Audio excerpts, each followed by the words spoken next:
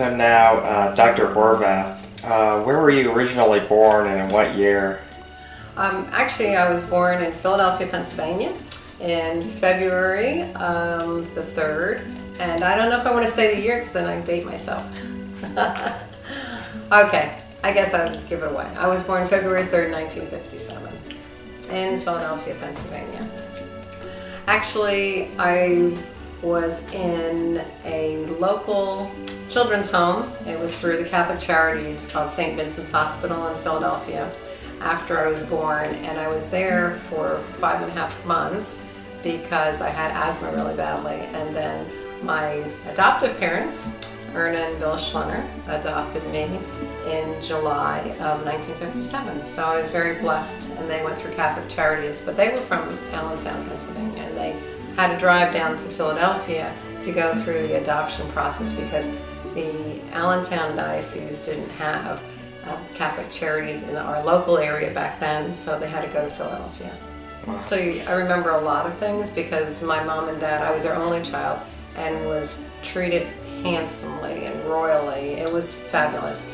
I actually had, we were actually not wealthy. We were blue collar family in a blue collar neighborhood in Salisbury, but everything they had and every opportunity that they had to give me things they did. And just the, the love and the attention and the affection. I know the day that my mom and dad adopted me, my mom actually quit working and she stayed home with me. So she was a stay-at-home mom for over 10 years while my dad, Bill, worked at two or three jobs to make ends meet. So they would be able to do a lot of extra things. And, and we had a lot of fun times. We would travel one week a year. We had vacation. We would go alternate years to either the mountains, which were the Poconos, or to the Jersey Shore. My best memories were Atlantic City, in New Jersey, when we went to see the, the diving horse would dive into water from a very high elevation. So that was fun. So we did that. There was a steel pier.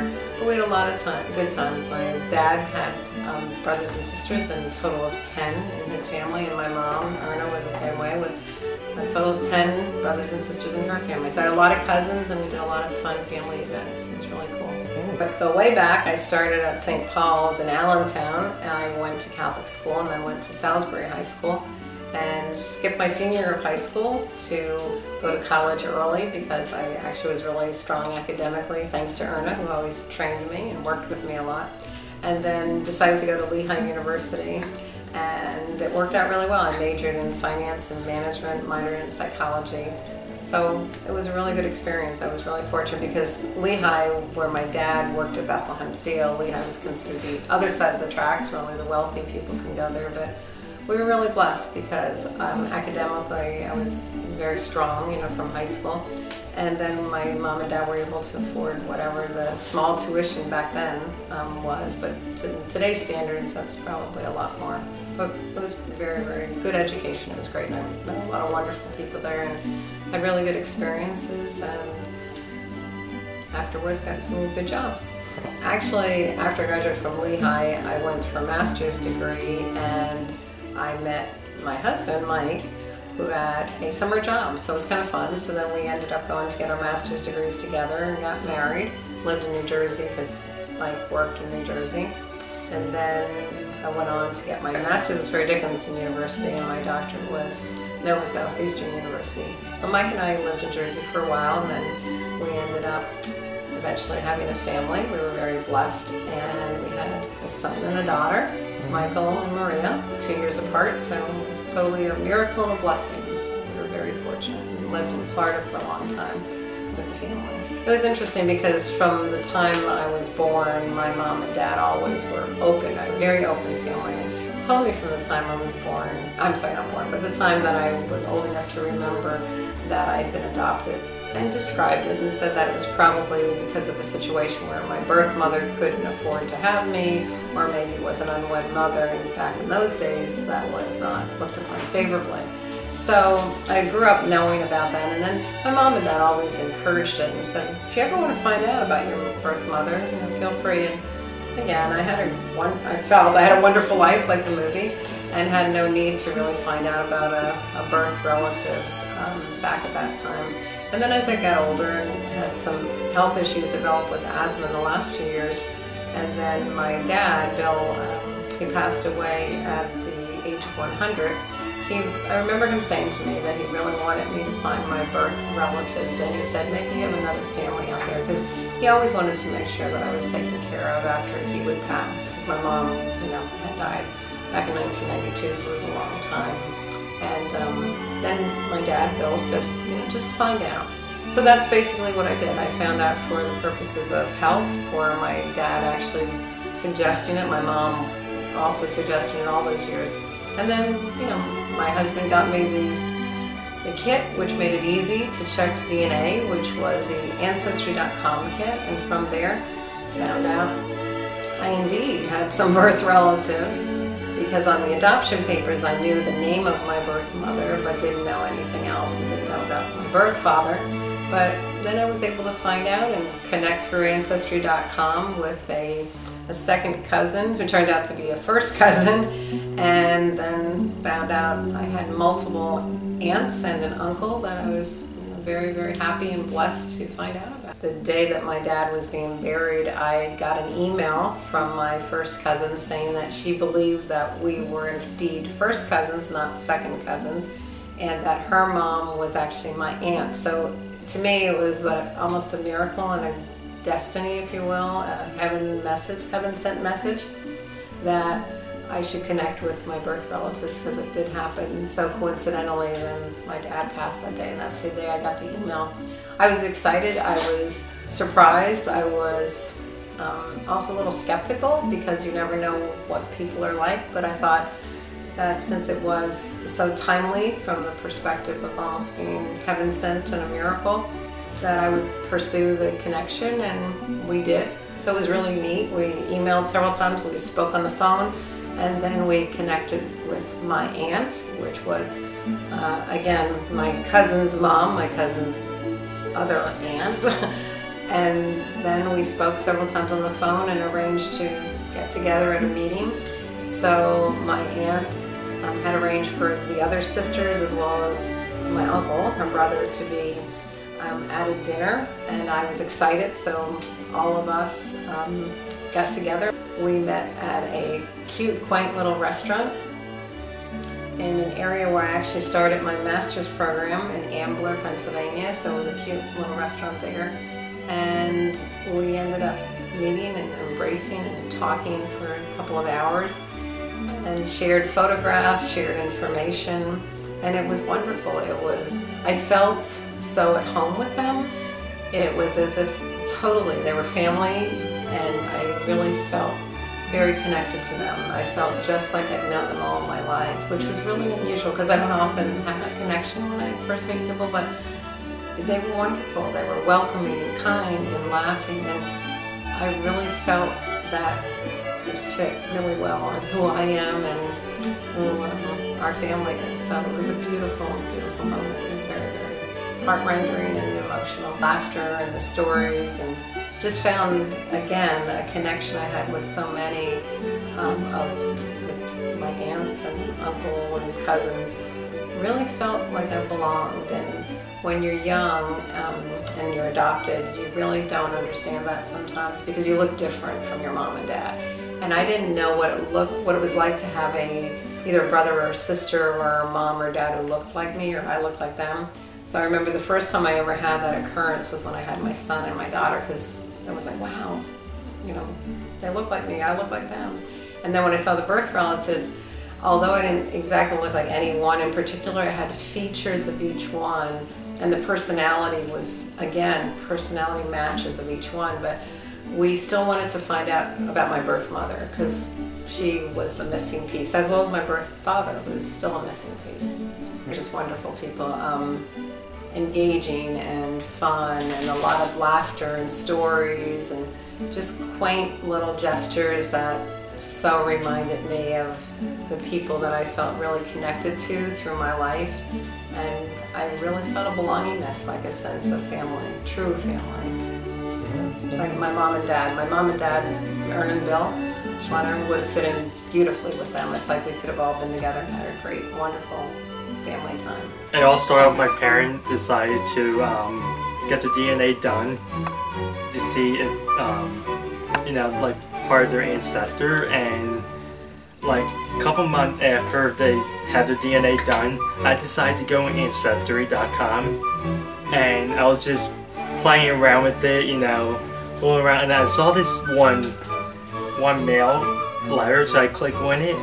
I read the whole thing, and when I saw Elizabeth Belanich, that's when I realized that, you know, you're really close to us. So that's when I showed to my mother, and when my mom looked at it, she was like, "Yeah, I think that's Aunt Betty.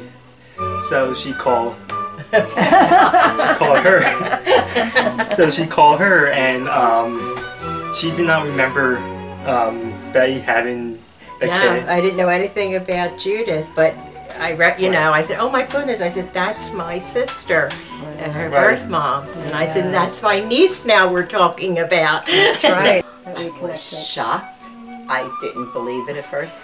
I thought this is not true. How how could my sister have a child and we not know about it? Bad enough we didn't know where she was, but how could this child be born and us not know? And us not know. That it was a shock. And even different things that Ronnie and I have talked about. you sure that's not phony, Ronnie? Are you sure? any, any anybody could do this, and you know, are you positive? You know. But uh, yeah, it was a shock, but a nice surprise. Do you know? I, at first, I was uh, just so surprised, but Judith, it has been wonderful. It's been a wonderful experience, and I said it's it's just part, and you're another part of our family. Your husband, your children, and your your family, and I, I, it's been wonderful. It really and truly has, and I've been telling people about it, and uh, you know, it, it's it's just great. I guess just being together. Uh, there was the four of us, and uh, we, we were we were close as kids. We were poor. We were a poor family. We start talking about horses and chickens and everything. Going, wait a minute, we grew up inside the city. You know, I didn't it, have it was a little different. Yeah. Everything's gone now. The, the, the neighborhood burnt down. We had a whirly bird in the backyard and a swing set. I was the baby, so I was a little bit more spoiled.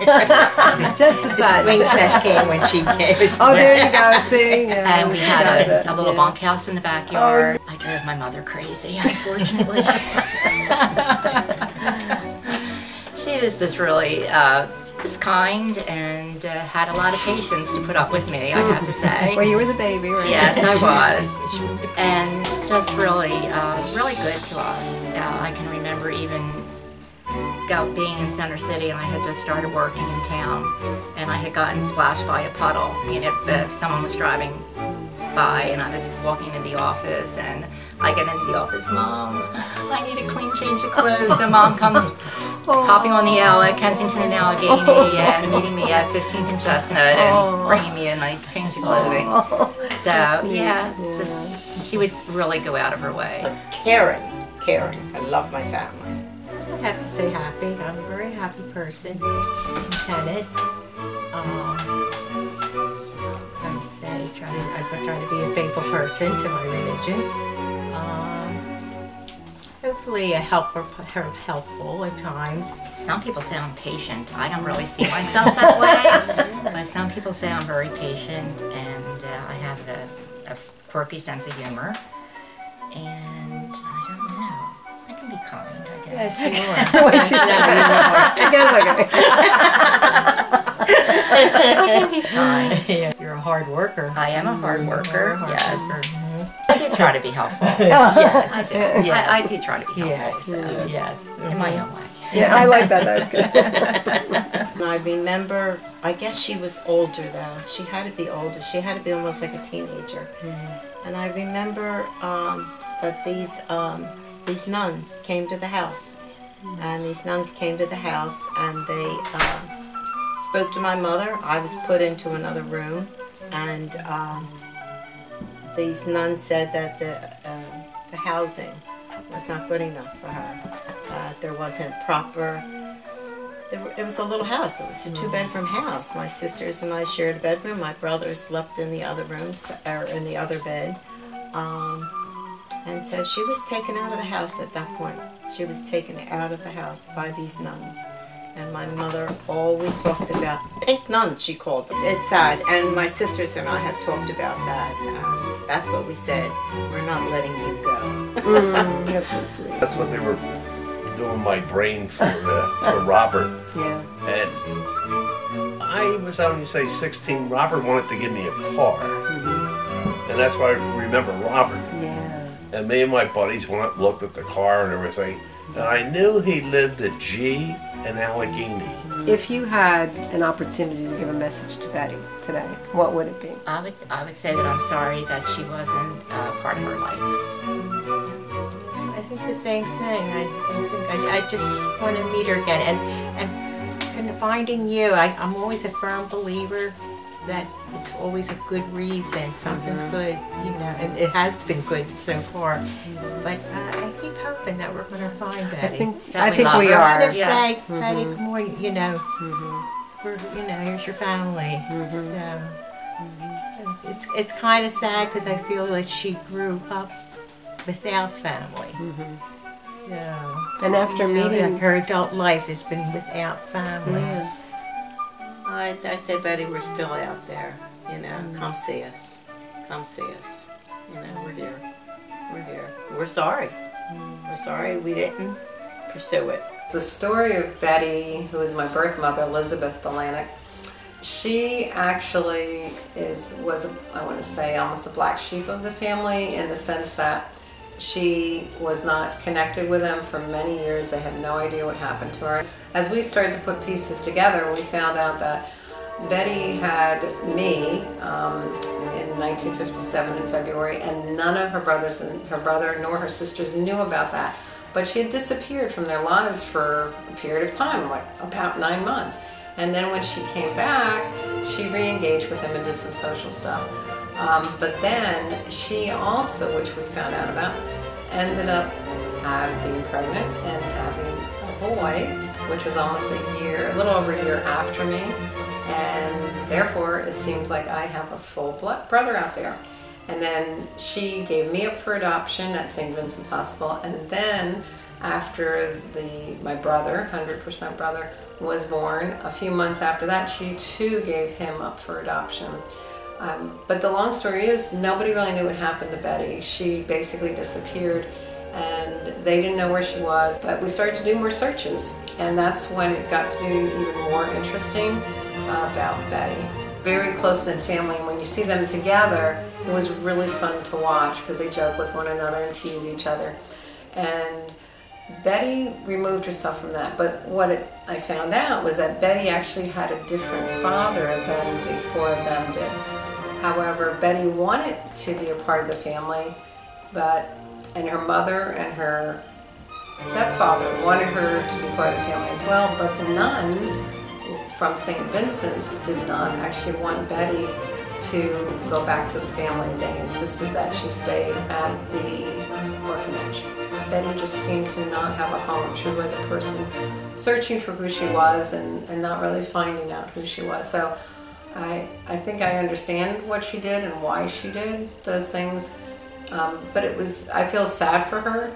And it's unfortunate that all of her life she kind of blamed other people for the reasons that she um, was sad or depressed and that they pushed her away when they really didn't, that she removed herself from the situation. She had me and then gave me up for adoption.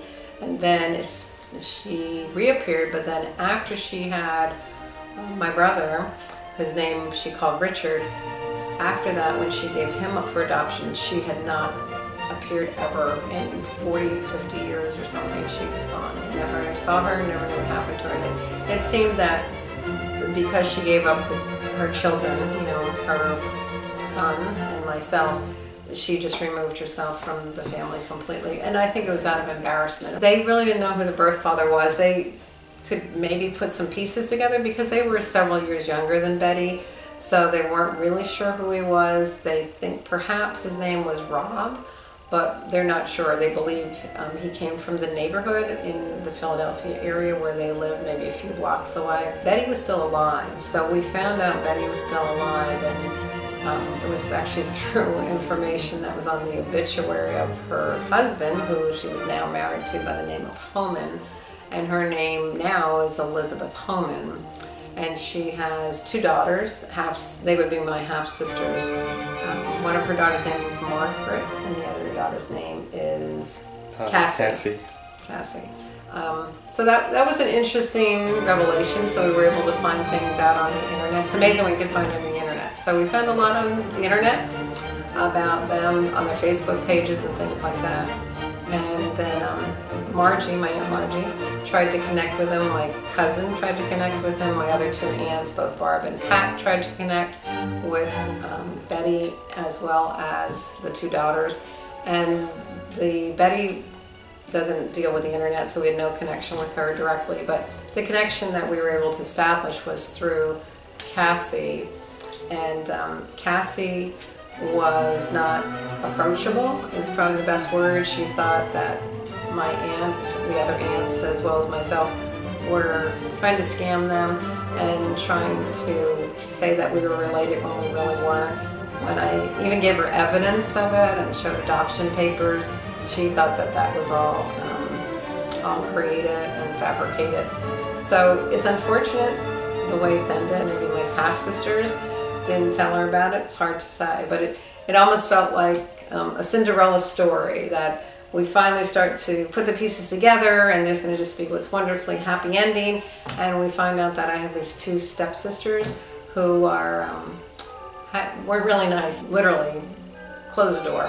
Within um, 24 hours of the point that we connected through Facebook to the point at which she shut us down um, was 24 hours. So absolutely, yes, I was surprised. Um, I was shocked. I thought she'd at least want to meet up. We even volunteered, my aunts and I volunteered to meet her close to her house in a public setting. I would pay for lunch or dinner, and she just completely shut down to the point that she actually threatened my aunt. All I thought was, I'm so much more like my aunts and my uncle and those cousins that I am remotely like Betty and two half sisters. I think I would just like to meet Betty just once um, and just say thank you. Um, say thank you, Betty, for adopting me out.